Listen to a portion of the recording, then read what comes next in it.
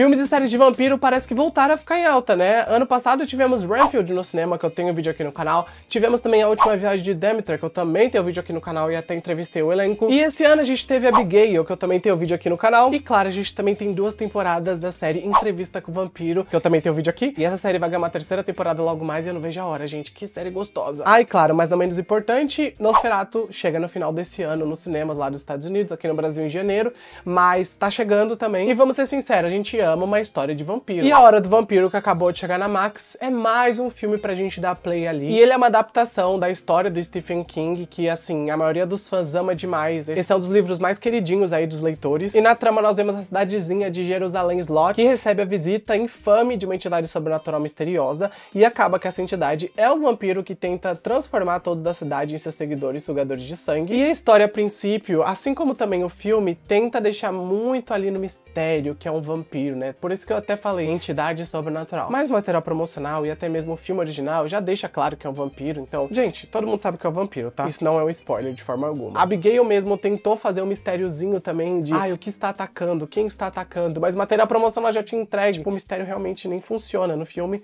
mas eu gosto bastante de Abigail, então sou culpado por isso. E assim, esse filme é uma adaptação bem livre da história do Stephen King, então não necessariamente é uma adaptação fiel. Eu tava até fazendo uma comparação com algumas diferenças que tem do livro pro filme, né? Na parte com spoiler vocês vão ver um pouquinho disso, e eu percebi que eles mudaram algumas coisas que fariam sentido ter na história. E eu também senti que eles trouxeram pro filme um pouco de uma vibe juvenil para conseguir construir a história, até porque a gente tem jovens na história, não só adultos. Então, parece que a gente tem uma mistureba legal aqui, que tem cenas legais que chama atenção, mas que também tem problemas. E vamos falar sobre os problemas, vamos falar sobre pontos positivos nesse vídeo que terá spoilers da metade pro final, mas antes, no começo, teremos uma parte sem spoilers para se você ainda não assistiu o filme, você assistir. Vale a pena, tá? Já vou deixar isso claro. Eu, eu acho que vale seu play. Só que antes de começar a falar sobre o filme, deixa o like, é muito importante, se inscreve aqui para próximos conteúdos de séries de filmes e me conta nos comentários se você vai assistir ou se você já assistiu, me conta o que você achou sobre ele, que eu quero muito saber. Pra quem não sabe, esse filme de Hora do Vampiro tinha sido anunciado pela Warner que seria lançado dois anos atrás, mas a Discovery acabou engavetando o filme depois da compra da Warner,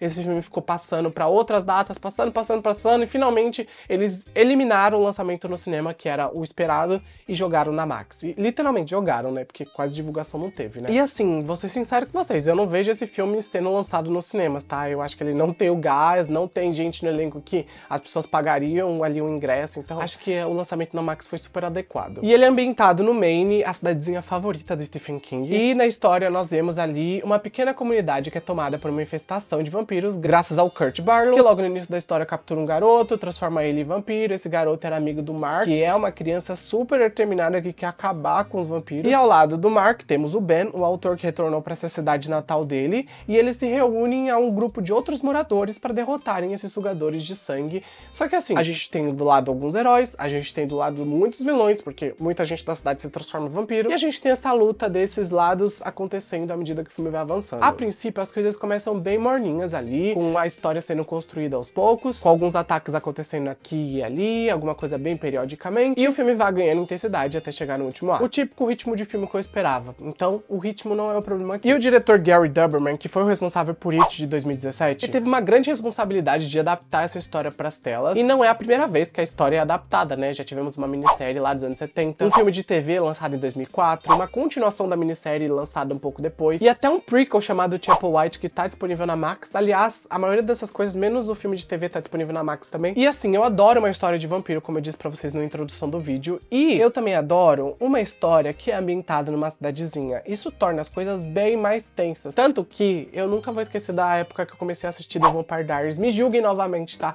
Eu sei que não é a maior história de vampiros do mundo, mas eu criei um apego por The Vampire Diaries, porque eu nunca tinha assistido assim uma história de vampiro dessa maneira, né? Além de Buffy caça-vampiros, mas, mas eu acho que Buffy ainda tem o seu lugar ao sol, porque ela é uma série clássica, né? Mas eu tô falando assim, coisas despretensiosas que eu assisti. Buffy, quando eu assisti, eu não sabia o que esperar. The Vampire Diaries eu assisti muito depois, a série já tinha acabado, então muita gente já tinha me contado muita coisa. É, então são dois parâmetros diferentes. E aqui, o filme original de Silent Slot, eu tinha assistido há muito tempo e nunca revi. Então eu fui assistir esse novo não sabendo muito da história. E eu acabei realmente engajando com o que eu tava vendo, mas também encontrando problemas narrativos. E eu trouxe o exemplo de The Vampire Diaries porque a cidadezinha pequena de The Vampire Diaries, que é Mystic Falls, é basicamente a coisa que eu mais gostava. Ver como os personagens interagiam dentro daquela cidadezinha. Não era uma série ambientada numa cidade grande. É uma série realmente um pouco mais contida. E isso a gente tem muito nesse filme, sabe? Ver uma cidadezinha cidadezinha bem afastada sendo atacada e ver a forma com que os habitantes lidam de uma maneira bem passiva com esses ataques. Pra ser sincero, todo mundo é muito assim, ah, vai melhorar, vai dar certo,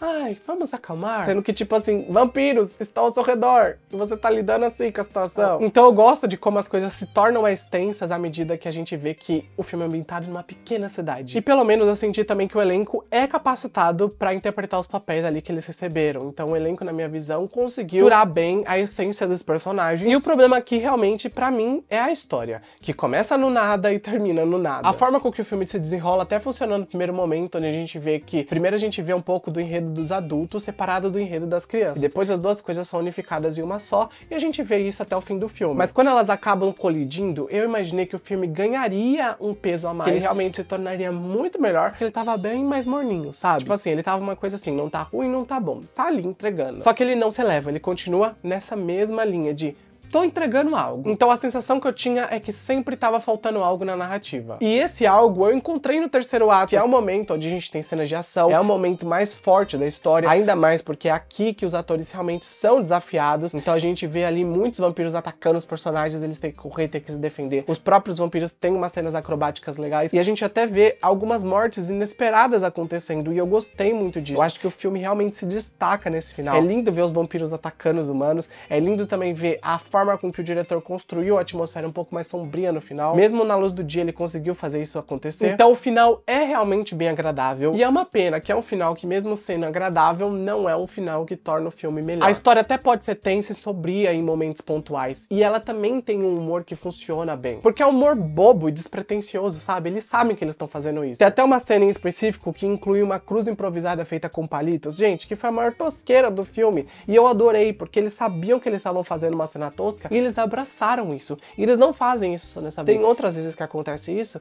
e assim, o filme literalmente abraça. Então, foi uma parte que eu curti. Porque os atores pareciam que estavam se divertindo nesse tipo de cena. Então, eles tinham uma conexão genuína um com o outro, e eles entendiam bem onde os personagens deles deveriam chegar na história, então eles entregavam o máximo de si. Mas a história, como sempre, se mostrava desequilibrada. E isso eu senti muito na edição, que parecia às vezes bagunçada, ou até mesmo em cortes bruscos de algumas cenas, então parecia que tinham cenas incompletas. Na verdade, parecia às vezes que o filme era um retalho, sabe? Tipo assim, eles tinham mais complementos para algumas situações, eles tinham mais diálogos para acrescentar, mas eles não tinham tempo, então eles foram lá cortando o que dava para cortar. Parece que o filme não foi pensado na hora de ser escrito, e aí acabou saindo o que saiu. Eu tive a sensação de que personagens apareciam em momentos breves e desapareciam rapidamente, e com isso a gente nunca tinha tempo de se importar muito com eles, ou de entender quem eles deram para aquela história, sabe? Pra gente sentir algo. Entretanto, ainda com esses problemas, eu acho que uma coisa se destaca que são as cores. O toque aqui que o filme traz visualmente, onde o diretor brinca com algumas situações envolvendo a luz do dia, consegue tornar até mesmo o pôr do sol algo relevante para a trama, até porque os vampiros aparecem, né, nesse momento. Então, assim, é claro que esses momentos assim mais visuais acabam tomando conta e você fica ali preso na história, principalmente por conta disso. O visual realmente é atrativo. Sem falar dos efeitos visuais que foram assertivos na minha visão, ainda mais pensando que é um filme de baixo orçamento, eles conseguiram fazer muito com pouco. Então, as cenas foram criativas na medida do possível. Porém, é muito notável que toda adaptação do Stephen King só prova o quanto é difícil adaptar um livro do Stephen King. A tentativa de adaptar foi genuína aqui, não tira mérito de ninguém. Mas esse filme acaba se tornando só mais um filme dentro de tantos outros filmes de streaming que a gente tem. Provavelmente ele não vai ser lembrado por muita gente. Mas ainda, vale o play. Me conta aí se vocês vão assistir ele lá na Max. Coloca uma cruz nos comentários pra eu saber que você viu até esse momento. A partir de agora eu vou falar sobre ele com spoilers, então já vai clicando no like, que é muito importante, se inscreve aqui pra próximos conteúdos de série de filmes e me conta nos comentários se vocês vão assistir. Na trama aqui do filme nós conhecemos o Ben, um homem que retorna a Jerusalém Slot, a cidade da sua infância, e ele chega no momento bem inoportuno, né? Já que o vampiro ali, Kurt, também aparece na cidade, ele quer transformar todos os seus seguidores vampirescos, e aí o Ben e outros moradores dessa cidade percebem que eles têm uma infestação de vampiros ao seu redor, e ao longo do filme a gente vê muitas das pessoas sendo mordidas, sendo transformadas em vampiros, e também vimos muitas mortes, porque os sobreviventes vão lutar até o final. E o clímax mostra aquela cena do Darwin, onde a batalha entre os humanos e os vampiros acontece. E assim, como eu mencionei na parte sem spoilers, uma das coisas que mais me desconectou do filme foi o enredo desconexo. Parecia que muita coisa tava faltando na história. Vamos começar pela Susan. A Susan é uma personagem que eu gostei a princípio, eu achei ela simpática, a atriz conseguiu, pelo olhar mesmo, entregar essa simpatia. Então, mesmo que seja uma personagem que a gente não entenda por completo sua backstory, a gente não entenda muito bem onde ela queria chegar, né? Ela só fala ali as coisas, a gente ainda assim simpatiza com ela. E a relação dela com o Ben era uma coisa que o filme tentou colocar como algo forte pra gente sentir a morte dela no final. Mas acreditar que o Ben não conseguiria matar matar Mesmo ela. Mesmo ele conhecendo ela há menos de um dia, foi surreal na minha visão. Tanto que ele pede pra doutora Code matar ela. E no final das contas, a doutora Code é morta pela mãe da Susan, né? Que tá protegendo a filha. E ele tem ali que entrar no embate com ela. Ele, ele fica ainda tentando conversar com ela pra ela não matar ele, pra ele não matar ela. É, ela tem que voltar ao normal. Só que ele acaba tendo que matar ela, né? E aí eu fiquei pensando, meu Deus, como esse enredo é esquisito. Porque na minha visão não faz sentido ele ficar tanto procrastinando pra matar ela, sendo que ela já tinha sido transformada em vampiro. Ele sabe o que acontece quando você é transformado em vampiro. Daí eu fui procurar o enredo do Ben e da Susan no livro. E daí eu descobri que tem algo por trás disso. Que no caso, os pais do Benny se envolveram numa tragédia e ele também perdeu a esposa. Então ele tem esse duplo peso de perder pessoas e isso é muito importante pro personagem, pra gente entender o porquê ele não quer matar a Susan. Acaba que a morte da Susan é representativa pro Ben nesse momento. E isso é omitido da história do filme. Tanto que no livro a gente vê que o Ben matar a Susan é, foca muito em ele aceitar a morte da própria esposa e também a relação que ele teve com o acidente dos pais. Então é algo que mostra o quanto o Ben tem ali questões a serem resolvidas e isso não é trazido pra história do filme. Eu fui ver a história do Ben e ela é muito mais profunda no livro livro do que aqui. Parece que aqui eles cortaram 80% da história dele. Então é um personagem meio superficial no filme. Que por mais que o ator seja carismático e por mais que eu tenha gostado da performance dele, ainda assim ele não me vendeu totalmente quem é o Ben. Eu só sei o básico dele. E no livro, ele é muito movido a voltar à cidade porque na infância ele foi até a casa Marston e ele viu um fantasma pendurado lá e isso criou um trauma bem duradouro que ficou na cabeça dele e isso é o ponto crucial para ele voltar para a cidade, para esse retorno. Já no filme ele retorna para casa de infância por conta do acidente dos pais e ele afirma momentos que ele tá ali para se redescobrir, para ele é, entrar numa busca interior. Então assim, a gente sabe que tem um foco no livro que ele quer escrever também. Tá faltando algo. Sabe a peça do quebra-cabeça sobressalente? É isso. O filme tem um sério problema em deixar enredos muito subdesenvolvidos. E isso inclui não só a Susan e o Ben, como também inclui a adição tardia, por exemplo, dos pais do Mark, que só apareceram na tela quando eles iam morrer. E a gente fica, ué, gente, esses eram os pais deles, apareceram por 5 minutos antes de terem mortos? A morte até foi legal, sabe? Uma morte bem surpresa, assim, ah, sendo atacado aqui, atacado ali. Eu gosto de como o filme brinca com os vampiros, então é uma parte legal. A forma com que ele brinca com os vampiros, ele consegue fazer os vampiros realmente se tornarem ameaçadores. E tem até um destaque que eu quero trazer, que é a cena que a Susan é sugada por um vampiro e a gente tava vendo é, a visão do espelho, então a gente não conseguia ver o vampiro. E eu achei isso super criativo. Mas todo o enredo desses personagens que eu citei são enredos mal trabalhados. Aliás, a própria mãe da Susan, que eu nem mencionei ainda, se torna uma doida hipnotizada que foi tão desgastante de ser acompanhada. Acho que ela só serviu na história para matar a Doutora Code quando ela ia matar a Susan. E a cena realmente foi impactante e surpreendente porque eu não lembrava da existência dela, de tão insignificante que ela era. Mas tirando isso, ela foi um zero à esquerda que mais irritava a gente que tava assistindo do que deixava a gente com medo ou intrigado. Porém, como eu já destaquei, se tem uma coisa que eu amei no filme foram as aparições dos vampiros. Meu Deus, como um filme de vampiros sem muita história, esse filme consegue entregar algo legal. Porque desde a cena que o Mark abre a janela para o amiguinho vampiro dele aparecer ali e quase matar ele, até cenas mais pesadas que contavam com algumas mortes, como aquela que o Ben é capturado por um vampiro e ele enfia uma estaca no peito do vampiro e os dois caem no chão. Essa cena foi muito legal. Ou até mesmo a cena do necrotério com aquele pano na cabeça do vampiro e todos tentando salvar a doutora Cold. E ela meio que esfaqueando a cara do vampiro, foi muito da hora. Obviamente o filme tem cenas legais, mas no final das contas ele acaba pecando tanto no roteiro que é complicado, né, a gente defender ele. Mas vamos falar do final do filme, né? Ao longo da história a gente descobre que o Kurt escolheu Jerusalém Slot pra ser a cidade onde ele ia começar ali a sua dominação vampiresca, porque aquela era uma cidade moribunda. A gente vê isso acontecendo principalmente naquele enredo. Logo no começo, onde a gente vê que a criança estava desaparecida e a cidade estava cagando pra esse desaparecimento. E obviamente a gente chega no final, onde a gente percebe que tem uma cena melhor que a outra. E uma das minhas favoritas é quando o Mark quebra todas as vigas da tela de cinema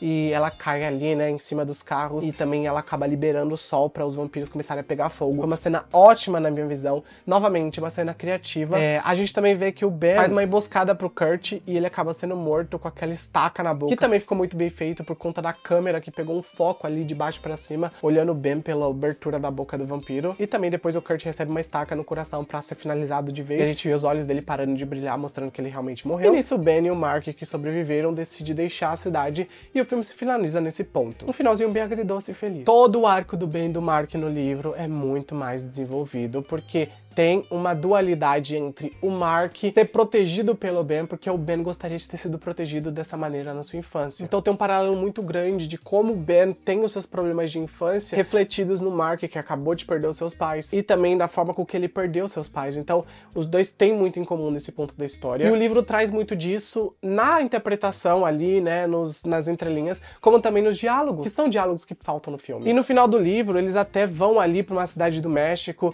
eles param ali um um tempinho, descansa, mas depois eles falam sobre tudo o que aconteceu com o padre, e aí eles acabam pegando o conhecimento, voltando pra Jerusalém Slot e matando vampiros sobressalentes que sobraram depois dessa matança. Só que o filme não deixa nenhum vestígio de que vai ter sequência, então eles literalmente encerram a história Fica ali. claro que a Warner quis deixar um final agridoce pra história, pra provavelmente não continuar ela, porque se eles engavetaram o filme há tanto tempo, eles sabem o que eles tinham na mão, e eles não devem gostar tanto desse material final que eles tiveram. Mas eu confesso que se tivesse uma sequência, eu assistiria. Assim, não fui o maior fã desse primeiro filme, não achei ele ruim, achei ele mediano. Então, pra um filme mediano, se lançar em outubro novamente, estaria dando play. Achei um filme super assistível para dar play num dia tarde. Óbvio que eu esperava bem mais dele, mas eu gostei de algumas coisas que ele trouxe, como eu já mencionei durante o vídeo. Achei que a metáfora sobre o declínio social dessa cidadezinha, ela foi bem posta na história mesmo, nas entrelinhas, novamente eu digo. A crítica que eles colocam começa desde a cidadezinha no começo, sendo bem ali é, qualquer coisa, então é uma cidadezinha que, ah, aconteceu o sumiço de um garoto, tudo bem.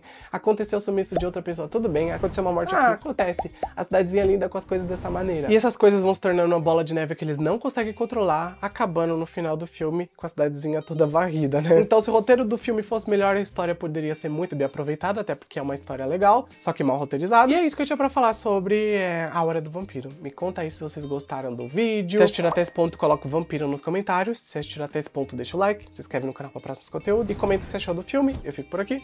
Grande beijo e tchau.